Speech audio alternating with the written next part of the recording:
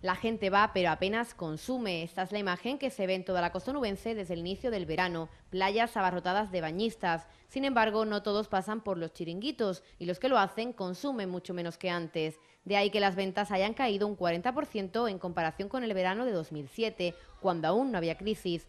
En relación con el año pasado, el consumo ha bajado hasta un 10% en lo que va de verano. Muy poquitas mesas que tengan bastante poder, o sea, que tengan un poco de poder adquisitivo y que coman un poquito, como digo, manda. Te piden dos o tres cositas y nada más.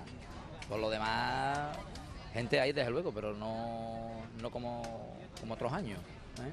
Se nota efectivamente que ha, ha, habido una pequeña recesión y de hecho nosotros acostumbramos nestas fechas tener entre 11 y 13 empleados, eh, estamos con 9 Nevera en mano, tortilla de patatas y bocadillos para toda la familia. Así es como disfrutan los onubenses de la playa. Y algunos incluso se atreven con un buen plato de comida bajo el sol. Eso sí, traído desde casa, como esta familia que va a la playa con el tupper de albóndigas con patatas.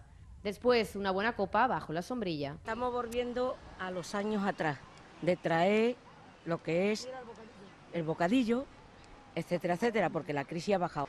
Y es que aquí somos mucha gente para comer y para todo no te puedes ir un chiringuito. Es que no te lo puedes permitir. Los bocadillos, tortillas, todo lo que se pueda traer de casa, te lo traes. Mismo con la comida, porque claro, está la cosita que no se puede uno ir todos los días al chiringuito. Nos tomamos una cervecita porque ya somos amigos de ellos después de tanto tiempo, pero no podemos permitir el lujo de comer allí todos los días.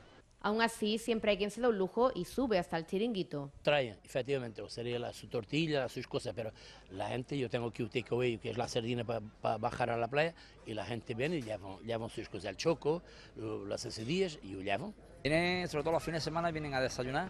Después al mediodía viene, viene mucha gente, pero ya te digo, con la sardinita, una, un aliñito y para de contar. Pero la situación ha cambiado incluso entre los más pudientes. Las grandes comidas en el chiringuito ya forman parte del pasado y la mayoría pide unas sardinas antes de bajar a la playa o tan solo toma el café de la media tarde.